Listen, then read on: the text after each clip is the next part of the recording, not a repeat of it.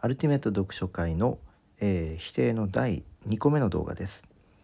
えー、372ページの表ではここですね。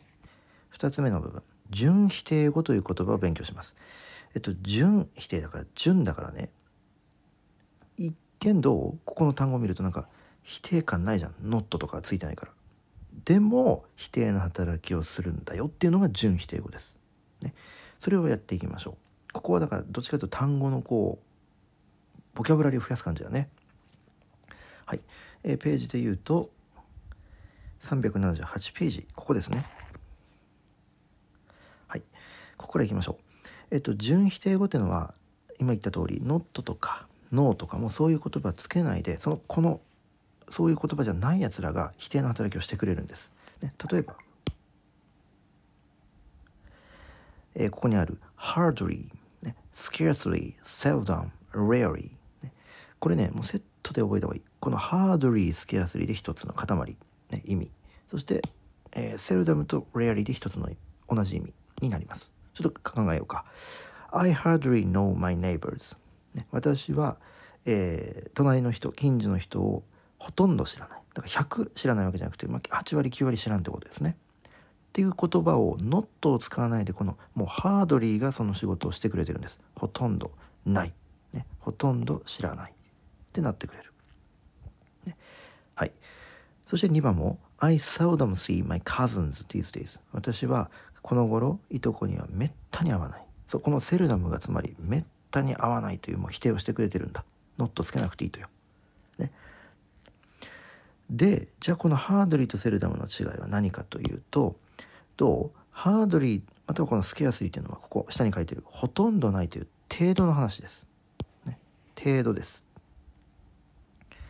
ね。だからまあ8割9割方のもう数、ね、程度を知らないってなるわけよね。それに対してちょっと右のページに飛びますね。こちら。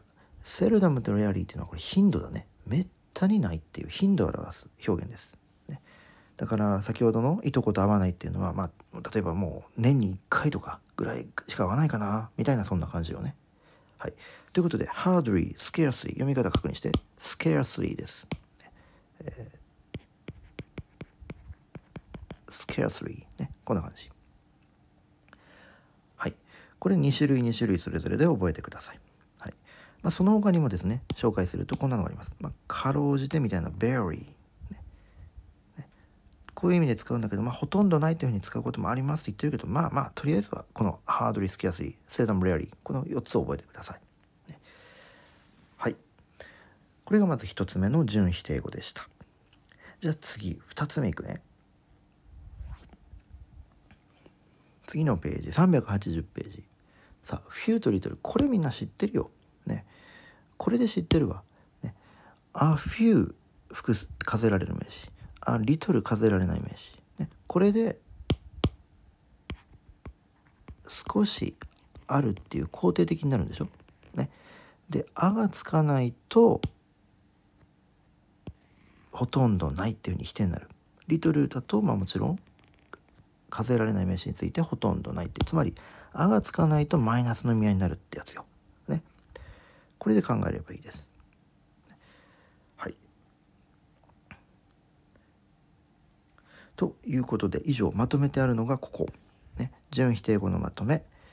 ここの部分しっかりと頭に入れてください。ね、フューとリトルは数えられる数えられないそれぞれによって使い分けないといけないからねここ気をつけてください。